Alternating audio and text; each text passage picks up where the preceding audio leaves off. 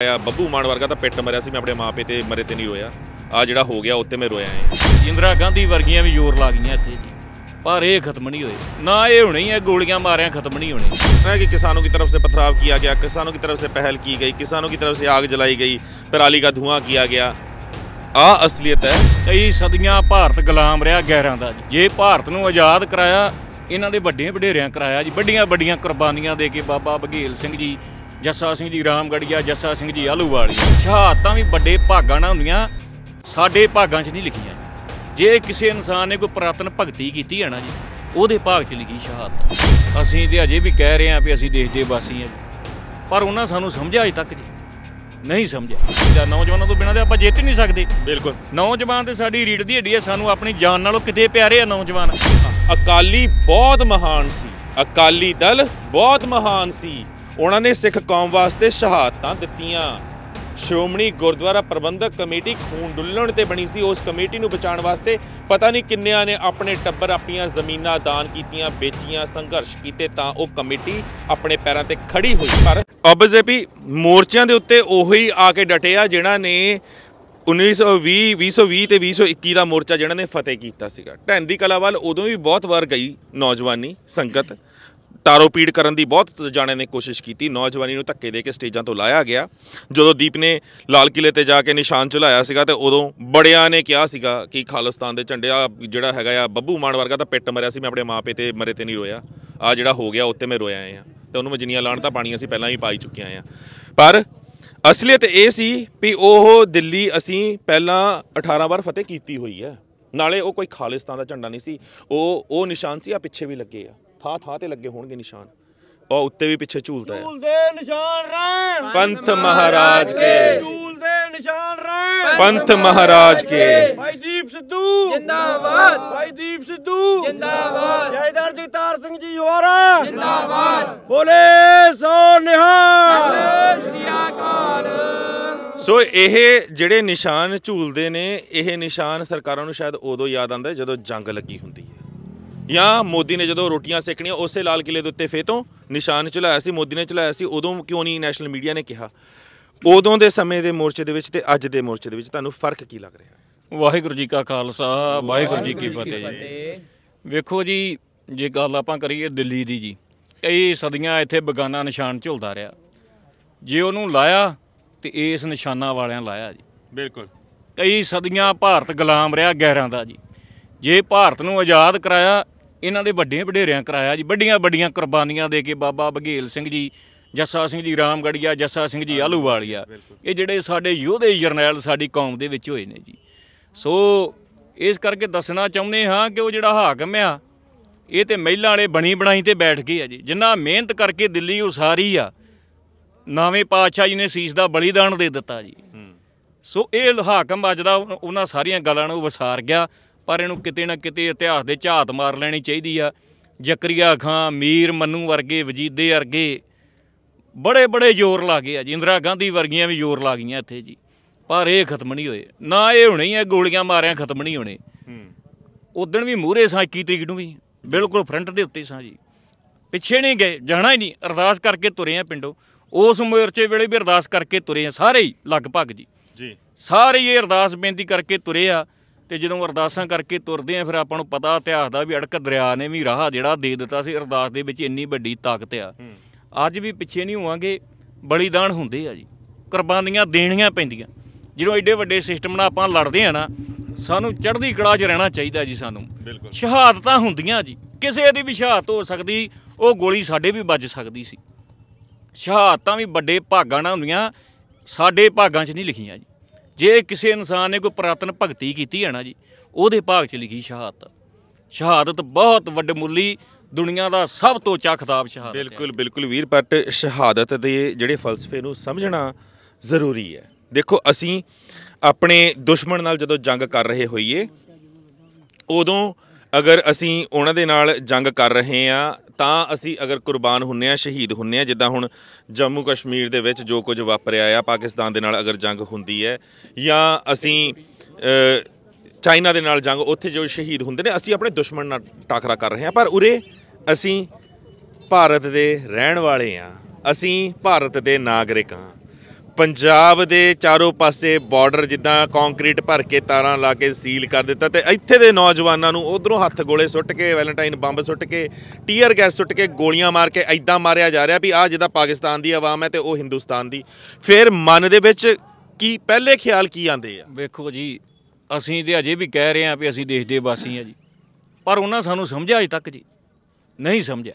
ਕਦੀ ਵੀ ਨਹੀਂ ਸਮਝਿਆ ਪੰਜਾਬ ਨੂੰ ਕਿ ਪੰਜਾਬ ਅੱਜ ਦੇ ਹਾਲਾਤ ਇਹ ਆ ਕੱਲੇ ਕੱਲੇ ਪੰਜਾਬ ਵਾਸੀ ਨੂੰ ਸਮਝ ਜਾਣਾ ਚਾਹੀਦਾ। ਸੋਚ ਇਤੋਂ ਬੜਾ ਵੱਡਾ ਮੈਸੇਜ ਇੱਕ ਗਿਆ ਜੇ ਵੀ ਜੇ ਕੋਈ ਸੁੱਤਾ ਰਹਿ ਗਿਆ ਫਿਰ ਉਹਦੀ ਬਦਕਿਸਮਤੀ ਹੈ ਜੀ। ਕਿ ਦਿੱਲੀ ਦਾ ਹਾਕਮ ਪੰਜਾਬ ਬਾਰੇ ਕੀ ਸੋਚਦਾ? ਬਿਲਕੁਲ। ਅੱਜ ਪੰਜਾਬ ਸਾਰਾ ਸੀਲ ਹੈ ਚਾਰਜ ਫੇਰਿਓ ਜੀ। ਪੰਜਾਬ ਨੂੰ ਦੇਸ਼ ਨਾਲੋਂ ਕੱਟ ਦਿੱਤਾ ਗਿਆ। ਇਹ ਤੇ ਧੱਕੇ ਨਾਲ ਲੱਗਦਾ ਪੰਜਾਬ ਨੂੰ ਵੱਖ ਕਰਨ ਲੱਗੇ ਆ ਜੀ।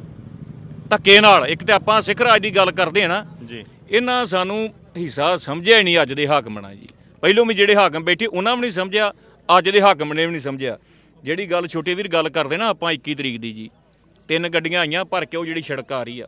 ਜੀ। ਪੈੜੀਆਂ ਭੇਜੀ ਆਏ ਉਹਨਾਂ ਦੇ ਆਰਐਸਐਸ ਦੇ ਬੰਦੇ। ਓਕੇ। ਦੂਜੇ ਪਾਸੇ ਵੀ ਦੂਜੇ ਪਾਸੇ ਵੀ ਪਾਸੇ ਘੇਰਾ ਪਾ ਕੇ। ਨਾ ਨਾ ਨਾ ਜੀ। ਉਹਨਾਂ ਬੰਦਿਆਂ ਨੇ ਫਰੈਂਡਲੀ ਇਧਰੋਂ ਰੋੜਾ ਮਾਰਿਆ ਆਪਣੇ ਬੰਦਿਆਂ ਨੂੰ। ਉਹਨਾਂ ਵੀ ਮਾਰਿਆ ਆਪਣੇ ਬੰਦਿਆਂ ਵੱਲ। ਕਿਸੇ ਨੌਜਵਾਨ ਦਾ ਕੋਈ ਦੋਸ਼ ਨਹੀਂ। ਕਿਸੇ ਕਿਸਾਨ ਦਾ ਇੱਕ ਪੈਸੇ ਦਾ ਦੋਸ਼ ਨਹੀਂ ਜੀ। ਅਜੇ ਤਾਂ ਆਪਾਂ ਅੱਗੇ ਵਧੇ ਨਹੀਂ ਜੀ ਆਪਾਂ। ਆਪਾਂ ਤਾਂ ਗਏ ਨਹੀਂ ਅਗਲੇ ਪਾਸੇ ਬਿਲਕੁਲ। ਜੀ ਅਸੀਂ ਤੇ ਪਿੱਛੇ ਅਜੇ ਖਲੋਤੇ ਸਟੇਜ ਲੱਗੀ ਸੀ ਗੱਲਬਾਤ ਕਰ ਰਹੇ ਸੀ। ਉਹ ਲੀਕ ਰਹੇ ਸਾਂ ਵੀ ਕਿੱਦਾਂ ਕਰਨਾ ਤੇ ਕਿਵੇਂ ਕਰਨਾ ਜੀ। ਉਹ ਜਿਹੜੇ ਬੰਦੇ ਮੈਂ ਤੇ ਜੋ ਅਸਲੀਅਤ ਅਸਲ ਆ ਅਸਲੀਅਤ ਆ ਉਧਰੋਂ ਵੀ ਪਹਿਲੋਂ ਹੀ ਬਣੀ ਸਾਜ਼ਿਸ਼ ਸੀ। ਜਿਹੜੇ ਅਗਲੇ ਪਾਸੇ ਆਰਐਸਏ ਦੇ ਗੁੰਡੇ ਖੜੇ ਸੀ ਉਹਨਾਂ ਰੋੜੇ ਮਾਰੇ। ਇੱਧਰ ਜਿਹੜੇ ਉਹਨਾਂ ਦੇ ਬੰਦੇ ਘੁਸਪੈਠ ਸਾਡੇ ਬੰਦਿਆਂ 'ਚ ਕਰ ਗਏ ਸੀ ਜੀ। ਉਧਰੋਂ ਉਹਨਾਂ ਮਾਰੇ। ਬਸ ਉਥੋਂ ਹੀ ਮਤਲਬ ਬਾ- ਦੋਨੋਂ ਪਾਸੇ ਉਹਨਾਂ ਦੇ ਹੀ ਬੰਦੇ ਉਹਨਾਂ ਸੀਗੇ। ਦੇ ਹੀ ਬੰਦੇ ਸੀ ਜੀ ਆਪਣੇ ਮਤਲਬ ਆ ਤੁਸੀਂ ਸਮਝ ਸਕਦੇ ਹੋ ਸੰਗਤ ਜੀ ਹੁਣ ਸਾਜ਼ਿਸ਼ ਜਿਹੜੀ ਹੈਗੀ ਆ ਮਤਲਬ ਕਿਸੇ ਕਿਸਾਨ ਨੇ ਪਥਰਾਵ ਵੀ ਨਹੀਂ ਕੀਤਾ ਜਿਹੜਾ ਨੈਸ਼ਨਲ मीडिया भी बहुत दिखा रहा है ना कि किसानों की तरफ से पथराव किया गया किसानों की तरफ से पहल की गई किसानों की तरफ से आग जलाई गई पराली का धुआं किया गया ਆ ਅਸਲੀਅਤ ਹੈ ਕਿ ਪਿੱਛੋਂ ਆ ਕੇ ਕਿਉਂਕਿ ਬਾਅਦ ਦੇ ਵਿੱਚ ਦੱਸਿਆ ਵੀ ਕਿ ਜਿਹੜੇ ਇਹਨਾਂ ਦੀ ਫੌਜ ਦੇ ਬੰਦੇ ਸੀ ਕਈ ਕਿਸਾਨਾਂ ਵੱਲ ਆ ਕੇ ਖੜੇ ਹੋਏ ਸੀਗੇ ਦੇਖੋ ਜੀ ਰੋੜੇ ਕੀ ਮਾਰਨੇ ਸੀ ਗੋਲੀਆਂ ਦਾ ਮੀਂਹ ਵਰਗਿਆ ਅਥਰੂ ਗੈਸ ਦੇ ਗੋਲਿਆਂ ਦਾ ਮੀਂਹ ਵਰਗਿਆ ਪਲਾਂ 'ਚ ਹੀ, ਇੱਕ ਮਿੰਟ ਦੇ ਵਿੱਚ ਹੀ ਜੀ। ਵਾਹਿਗੁਰੂ। ਤੇ ਰੋੜੇ ਕਿੰਨੇ ਚੁੱਕਣਾ ਸੀ ਰੋੜਾ? ਗੋਲੀਆਂ ਦੇ ਗਾੜੀ ਰੋੜੇ ਵਾਲਾ ਖੜ ਸਕਦਾ ਦੱਸੋ ਜੀ। ਬਿਲਕੁਲ ਗੋਲੀ ਤੇ ਲਾਠੀ ਦੀ ਕੋਈ ਲੜਾਈ ਨਹੀਂ ਗੋਲੀ ਤੇ ਰੋੜੇ ਦੀ ਕੋਈ ਲੜਾਈ ਨਹੀਂ। ਨਾ ਜੀ ਕੋਈ ਮੇਲ ਹੀ ਕੋਈ ਨਹੀਂ ਜੀ। ਜ਼ਮੀਨ ਅਸਮਾਨ ਦਾ ਫ਼ਰਕ ਹੈ ਜੀ। ਤੇ ਅੰਨੇਵਾਹ ਦੇ ਫਾਇਰਿੰਗ ਹੋ ਰਹੀ ਸੀ ਦੂਸਰੇ ਪਾਸਿਓਂ ਜੀ। ਹਾਂ ਇੱਕ ਹੋਰ ਮੈਂ ਗੱਲ ਦੱਸਣੀ ਚਾਹੁੰਦਾ ਜੀ। ਦੋ ਤਰ੍ਹਾਂ ਦੇ ਗੈਸ ਦੇ ਗੋਲੇ ਸੀ ਜੀ।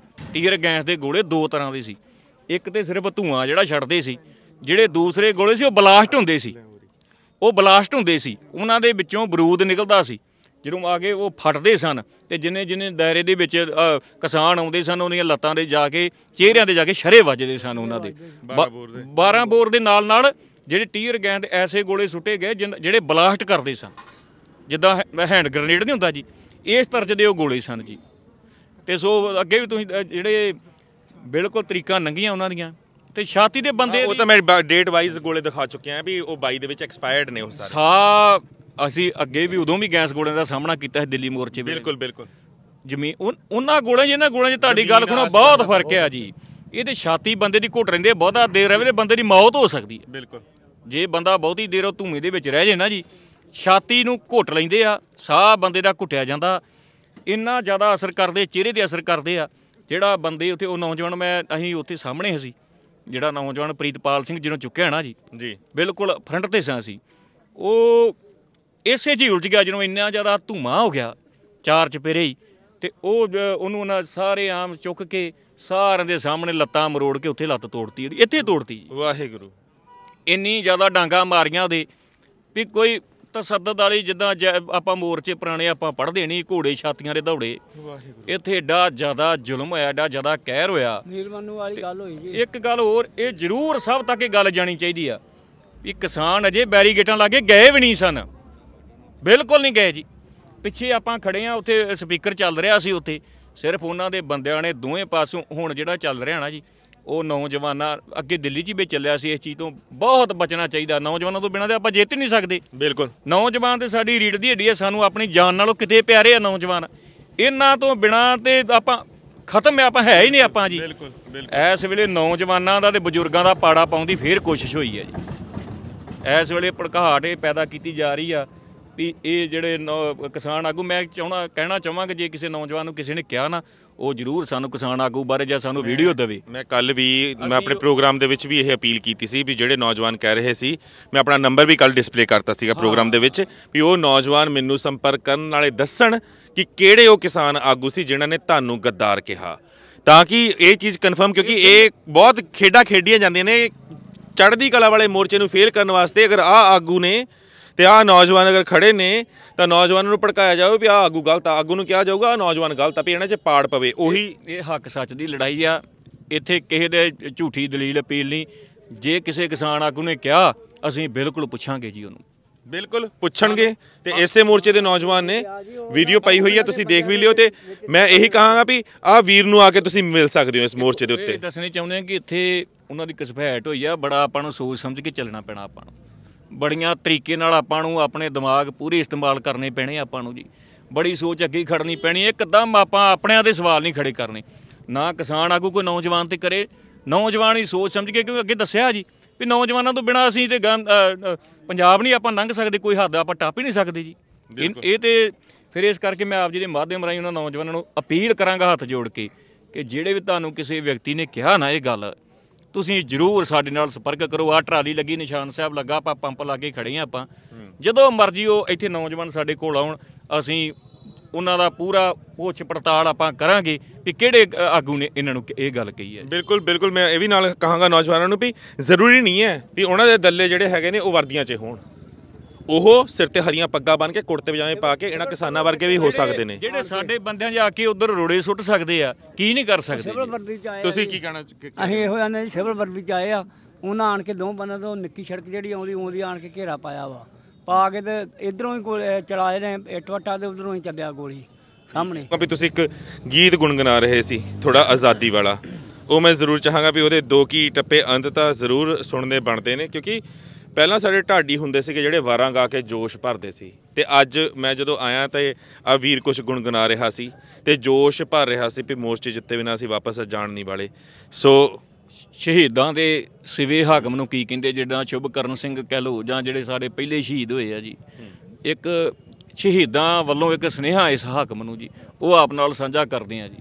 ਆਜੋ ਸਾਰੇ ਭਰਾ ਸਾਡੀਆਂ ਸ਼ਹਾਦਤਾਂ ਦਾ ਰੰਗ ਏ। ਇੱਕ ਦਿਨ ਚੜੇਗਾ ਪੰਜਾਬ ਨੂੰ ਸਾਡੀਆਂ ਸ਼ਹਾਦਤਾਂ ਦਾ ਰੰਗ ਏ। ਇੱਕ ਦਿਨ ਚੜੇਗਾ ਪੰਜਾਬ ਨੂੰ। ਓ ਬਲਦੇ ਜੋ ਸਵੇ ਸਾਡੇ ਹਾਕਮ ਸੇਕ ਤੇਰੇ ਮਹਿਲਾ ਤੱਕ ਜਾਵਣਾ। ਓ ਰੰਗੇ ਵਾਂਗੂ ਚੈਨ ਵੇਖੀ ਵੈਰੀਆ ਤੈਨੂੰ ਨਾ ਹੋ ਰਾਤ ਸੁੱਤੇ ਆਵਣਾ। ਇੱਕ ਦਿਨ ਇੱਕ ਦਿਨ ਹਿਸਾਬ ਸਾਰੇ ਹੋਣਗੇ। ਦਿੱਤੇ ਜਿਹੜੇ ਦੁੱਖ ਤੂੰ ਗੁਲਾਬ ਨੂੰ ਸਾਡੀਆਂ ਸ਼ਹਾਦਤਾਂ ਦਾ ਰੰਗ ਏ। ਇੱਕ ਦਿਨ ਚੜੇਗਾ ਪੰਜਾਬ ਨੂੰ ਸਾਡੀਆਂ ਸ਼ਹਾਦਤਾਂ ਦਾ ਰੰਗ ਏ। ਇੱਕ ਦਿਨ ਚੜੇਗਾ ਪੰਜਾਬ ਨੂੰ। ਧੂਏ ਜਿਹੜੇ ਸਿਵਿਆਂ 'ਚ ਬਲਦੇ ਸਾਹ ਤੇਰੇ ਉਹ ਖਿੱਚ ਲੈਣਗੇ। ਸਿਰ ਸਾਡੇ ਪਾਜੀਆਂ ਜੋ ਚਾੜੀਆਂ ਭਾਰ ਤੇਰੀ ਹਿੱਕ ਉੱਤੇ ਪੈਣਗੇ। ਪਾਜੀਆਂ ਜੋ ਸਿਰ ਸਾਡੇ ਚਾੜੀਆਂ ਭਾਰੇ ਉਹ ਹਿੱਕ ਉੱਤੇ ਪੈਣਗੇ। ਹੋ ਧਰਤੀ ਦੇ ਖੂਨ ਸਾਡਾ ਡੁੱਲਿਆ, ਕਰੇਗਾ ਜੋ ਪੈਦਾ ਇਨਕਲਾਬ ਨੂੰ। ਸਾਡੀਆਂ ਸ਼ਹਾਦਤਾਂ ਦਾ ਰੰਗ ਏ। ਇੱਕ ਦਿਨ ਚੜੇਗਾ ਪੰਜਾਬ ਨੂੰ।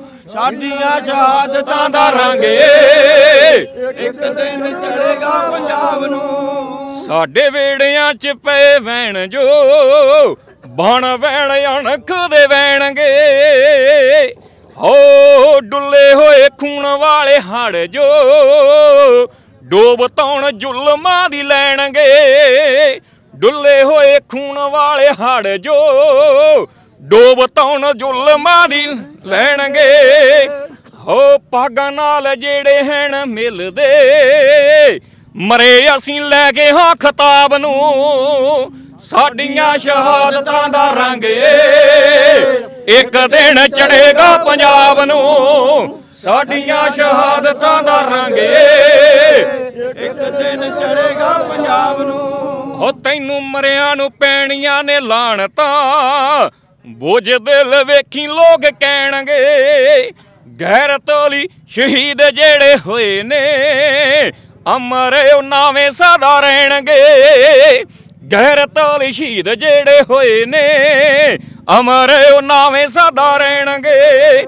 ਹੋ ਨੱਕ ਡੋਬ ਦੇ ਵਿੱਚ ਮਰਨਾ, ਲੱਭ ਕਿਤੇ ਚੱਪਣੀ ਤਲਾਬ ਨੂੰ, ਸਾਡੀਆਂ ਸ਼ਹਾਦਤਾਂ ਦਾ ਰੰਗ ਏ। ਇੱਕ ਦਿਨ ਚੜੇਗਾ ਪੰਜਾਬ ਨੂੰ, ਸਾਡੀਆਂ ਸ਼ਹਾਦਤਾਂ ਦਾ ਰੰਗ ਏ।